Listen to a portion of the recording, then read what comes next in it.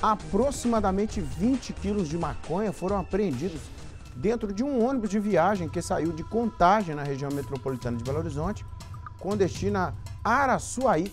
Uma passageira de 19 anos, suspeita de transportar o entorpecente, foi presa. O Ivan Duarte está chegando com os detalhes. É, Ivan, o que se sabe dessa ocorrência, hein?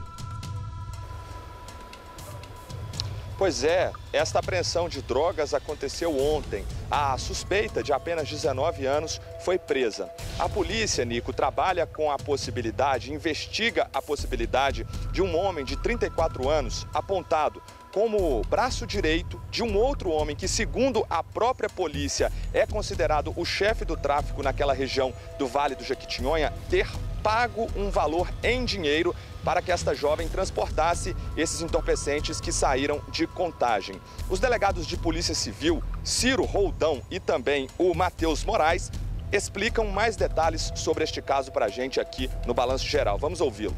Ouvi-los. A jovem vinha de um ônibus da capital mineira com destino a Araçuaí.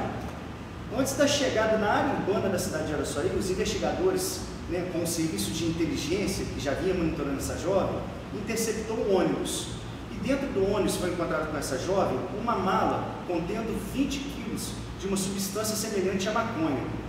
Desde 2021, nós vemos recebendo informações acerca do tráfico de drogas praticado por um conhecido traficante da região.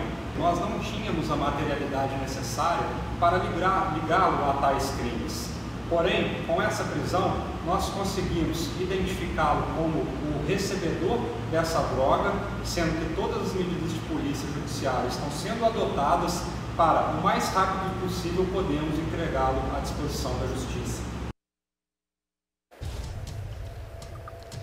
Tá aí, portanto, os delegados de Polícia Civil, Ciro Roldão e Matheus Moraes, a quem agradeço pela participação conosco aqui no Balanço Geral. Você ouviu, Nicomedes, que é uma investigação que já dura aí quase seis meses para desarticular a venda de drogas no município de Araçuaí e também naquela região do Vale do Jequitinhonha. Nesta operação, quase menos 20 quilos de maconha fora de circulação, uma jovem presa e também essas outras pessoas na mira da justiça. São essas as informações, Nicomedes. É, Ivan, ali eles ouviam um celular ali, eles pegam o celular, vão ver qual, quais mensagens, quais conversas recentes que a pessoa teve e dali vai partir para uma ligação para ver se encontra, né? Outros envolvidos ou outro ou outras envolvidas, né? Cruz credo.